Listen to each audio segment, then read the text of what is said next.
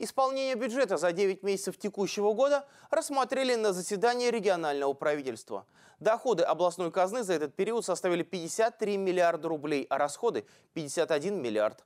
Обо всех итогах финансовой политики расскажет Наталья Чекет.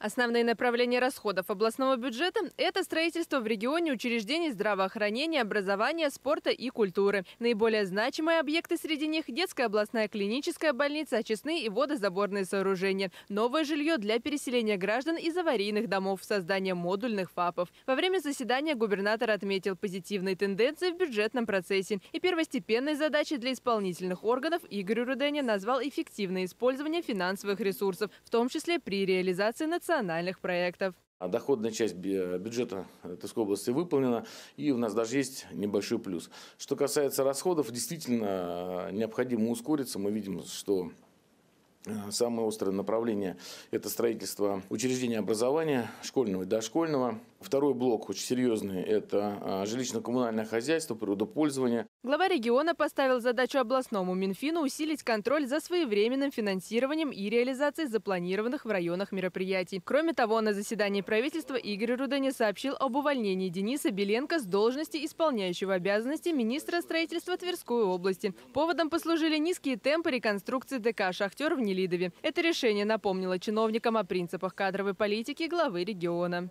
Часть людей отстранена от работы э, за невыполнение показателей, поэтому э, сейчас мы ставим месяц э, для руководителей министерств и, собственно, муниципальных образований для того, чтобы были собраны документы уже по выполненным работам, либо повышены темпы работы по направлению расходования средств, ну, то есть вложения средств в региональную экономику.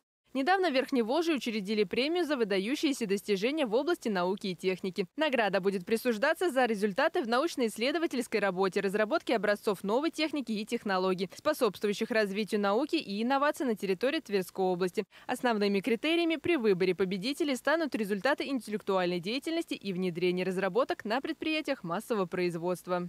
Премия очень интересная. Это молодым ученым, молодым аспирантам, молодым студентам. А, там четыре номинации, причем они самые разные, а практически охватывают все направления нашей жизни.